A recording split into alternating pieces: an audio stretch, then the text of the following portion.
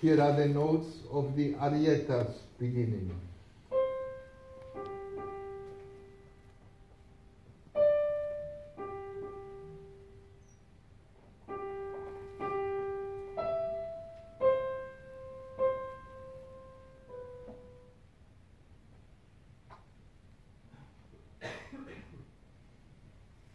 The last trilogy of sonatas was written in conjunction with Beethoven's work on the Missa Solemnis.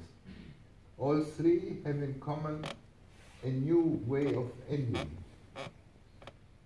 where the last chords of Opus 101 and 106 had still concluded these works in an unequivocal manner, Opus 109 withdraws into an inner world.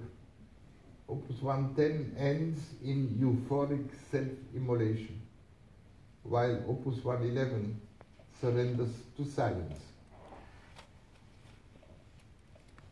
Two movements in sonata form precede the superb variations of the E major sonata, Opus 109. They are fundamentally different in character. The quasi-improvised dream-like first movement suspends gravity. The second is an excitable outburst veering between anger and fear. The first movement, the bass hovers in syncopation behind the notes of the melody, hardly touching the ground. In the second, it imposes itself all the more clearly, clinging to the ground, yet unable to convey stability as it remains almost entirely rooted in the dominant. The first movement glides along in a single rhythmic pattern, interrupted by the declamatory second theme in a new tempo and time signature. It has light colors, long breath spans, and undulated contours. The second movement, on the other hand, is dark, flickering, and jagged, jerky, and short-winding. The initial theme of the first movement, by the way, starts with an upbeat. One should feel it in the performance.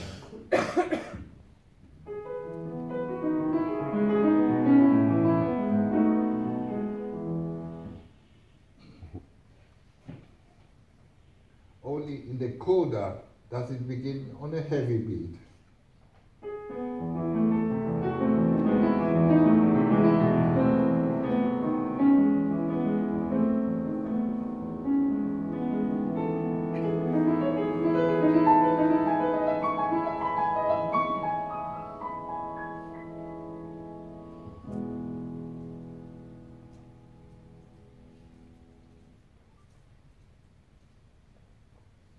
The final movement combines the essence of the first with the aspirations of the second. and it both floats along and brings repose.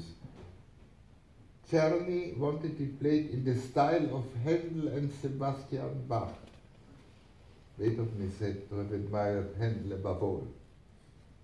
Handel's spirit can indeed be detected in the sarabande-like variation theme as long as we forget about Beethoven's extremely sensitive dynamic indications.